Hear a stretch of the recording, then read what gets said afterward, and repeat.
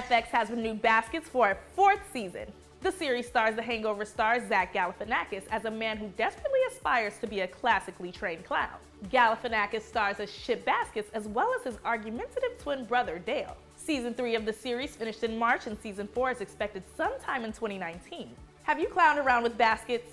Sound off in the comments, and as always, stick with us at Celebified for the latest TV scoop. I'm Obehi, and see you next time.